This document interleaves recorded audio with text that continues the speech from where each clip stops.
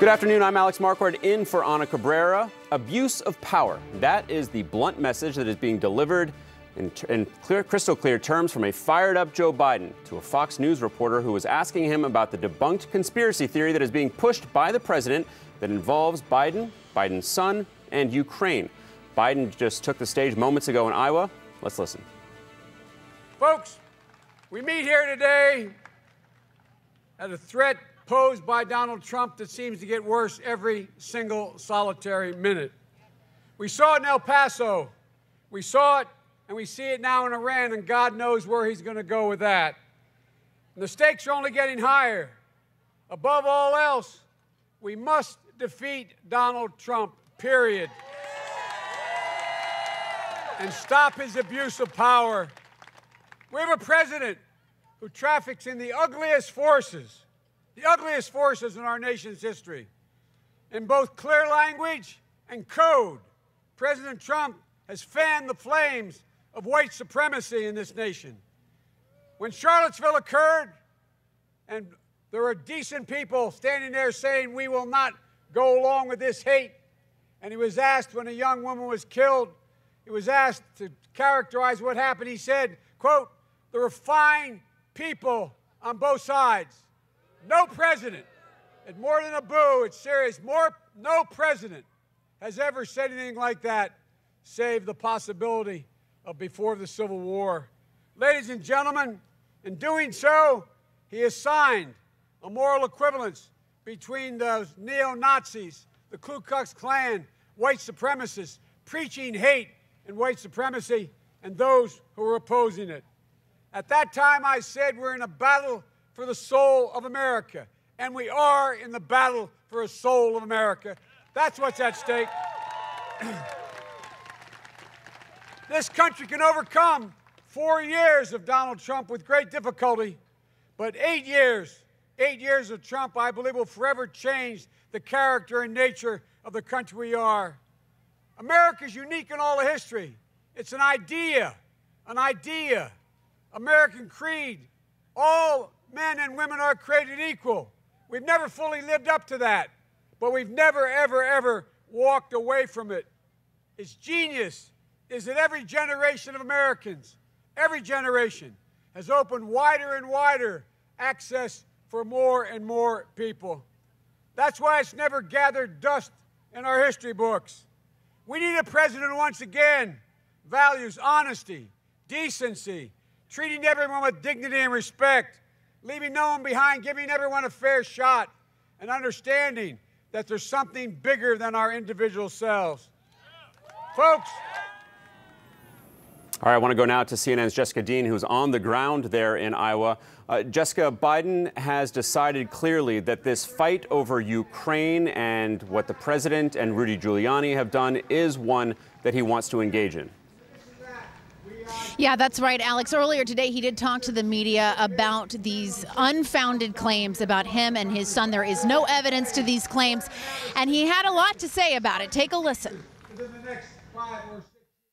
Mr. Vice President, how many times have you ever spoken to your son about his overseas business dealings? I've never spoken to my son about his overseas business dealings. And so, how do you know? Let's talk about, here's what I know. I know Trump deserves to be investigated. He is violating every basic norm of a president. You should be asking him the question why is he on the phone with a foreign leader, trying to intimidate a foreign leader, if that's what happened? That appears what happened. You should be looking at Trump. Trump's doing this because he knows I'll beat him like a drum. And he's using the abuse of power and every element of the, the uh, presidency to try to do something to smear me. Everybody looked at this, and everybody's looked at it and said there's nothing there. Ask the right question. Mr. Biden, okay, but if you've never spoken to your Pardon son, can he be impeached for this?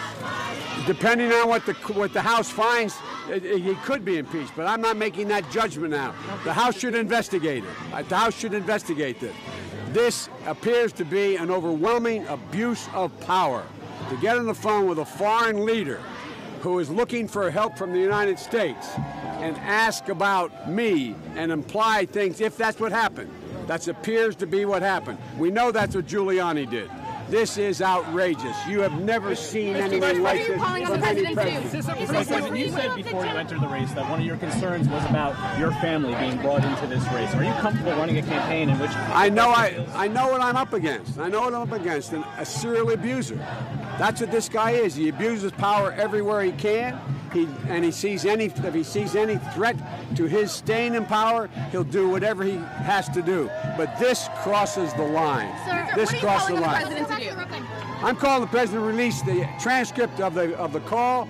Let everybody hear what it is. Let the House see it and see what he did. That's what I'm calling.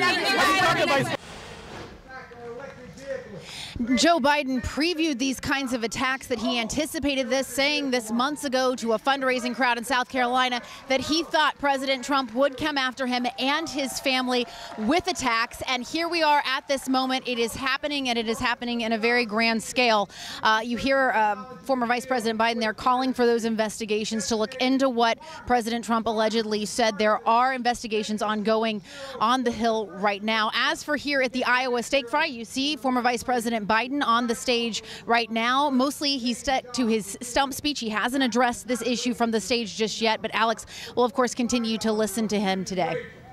All right, a big day for the Democratic presidential candidates. Jessica Dean, we know that you'll be there listening to all of them. Thanks very much. Now, President Trump is again insisting today that reporters should dig into a widely discredited, we need to emphasize that this is widely discredited, a conspiracy theory involving Joe Biden, Ukraine, and a Ukrainian prosecutor that he helped get fired. Joining me now is CNN reporter and fact checker extraordinary, extraordinaire Daniel Dale. Uh, Daniel, Democrats are accusing Trump of wrongdoing, of a flagrant abuse of power, trying to rope a foreign ally into helping his reelection campaign. And Trump then is pointing the finger back at Biden, um, saying that he, in fact, should be investigated. So let's dig into these unproven claims that Trump is making about the former vice president. Sure, Alex. So what happened was Ukraine had a, a top prosecutor, a man named Viktor Shokin, who a lo- whole lot of people, including U.S. diplomats, Ukrainian anti-corruption activists, U.S. allies, thought was ineffective in fighting corruption and should be fired. And in 2016, Joe Biden pressured Ukrainian leaders to oust this prosecutor. He said, uh, "I will not."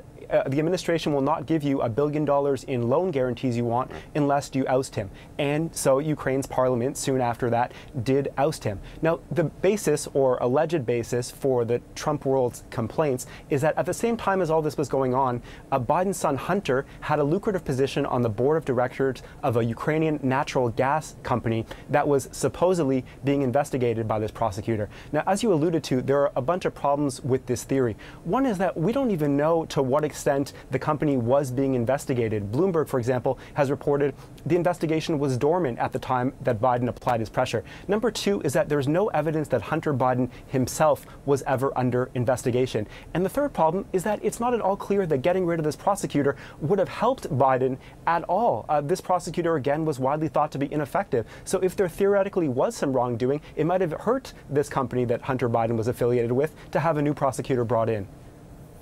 Daniel, Biden hasn't exactly shied away from talking about his involvement in Ukraine with this prosecutor. What do we know about his story, what he's saying, and, and, and whether it checks out?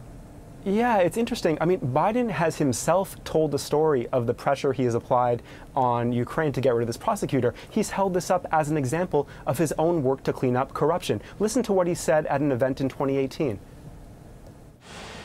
I'm desperately concerned about the backsliding on the part of uh, uh, Kiev in terms of corruption. They made, I mean, I'll, I'll, give you one concrete example. I went over, I guess, the 12th, 13th time to Kiev, and, uh, and I was going, supposed to announce that there was another billion dollar loan guarantee. And I had gotten a commitment from Poroshenko and from uh, Yatsenyuk that they would take action against the state prosecutor, and they didn't. So they said they had they were walking out to press conference. Said, "No," I said, "I'm not going to, or we're not going to give you the billion dollars." They said, "You have no authority. You're not the president." The president said, "I said, call him." I said, "I'm telling you, you're not getting the billion dollars." I said, "You're not getting the billion. I'm going to be leaving here." And I think it was what six hours. I looked. I said, "I'm leaving in six hours. If the prosecutor's not fired, you're not getting the money." Well, son of a bitch, got fired, and they put in place someone who was solid at the time. So it's clear that Trump is right when he says that Biden did apply pressure on Ukraine, did threaten Ukraine to fire a prosecutor. But all the rest of the story about why Biden did this is completely unproven. All right, Daniel Dale, no one better to help break this all down for us. Thanks very much. Thank you.